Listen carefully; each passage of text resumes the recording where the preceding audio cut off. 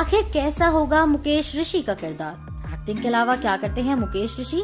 Telugu movies के साथ किन भाषाओं की फ़िल्मों में मुकेश ऋषि कर चुके हैं काम? नमस्कार, एक बार फिर से आप सभी का स्वागत है बॉलीग्राड स्टूडियोज में और मैं हूँ आपके साथ अनुष्का त्यागी। साउथ के मास महाराजा रवि तेजा जल्द ही अपना बॉलीवुड डेब्यू करने वाले हैं, जिसका उनके फैंस कब से इंतज़ार कर रहे थे। क्योंकि साउथ के लगभग हर फ़ेमस एक्टर ने अपनी हिंदी फ़िल्म रिलीज़ कर ली है, सिवाय रवि तेजा के। लेकिन फ़िल्म खिलाड़ी से अब रवि तेजा भी अब उन साउथ एक्टर्स की लिस्ट में शामिल होने वाले हैं।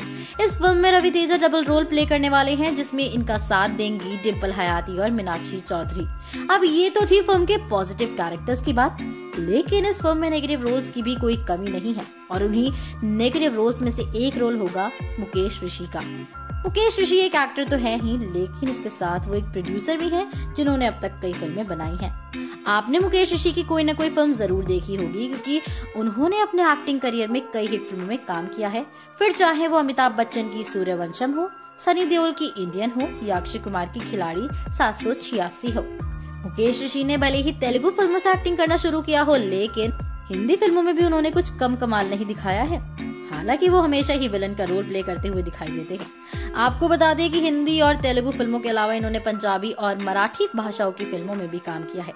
अब अगर बात करें उनकी आने वाली फ़िल्म खिलाड़ी में मुकेश ऋषि के किरदार की तो फ़िल्म में ये होम मिनिस्टर के कैरेक्टर को प्ले करने वाले हैं।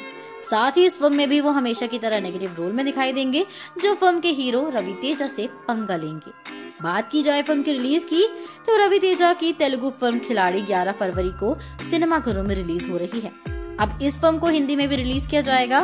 इस एक्शन थ्रिलर जहाँ एक तरफ़ फ़िल्म को रमेश वर्मा ने डायरेक्ट किया है, वहीं दूसरी तरफ़ फ़िल्म के प्रोड्यूसर जयंती लाल गड़ा है।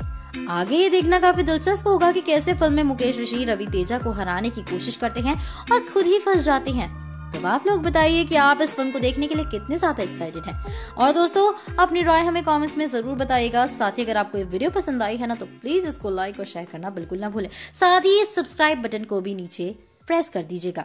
हम फिर मिलेंगे एक नई वीडियो के साथ में। हमारी आज की राइटर हैं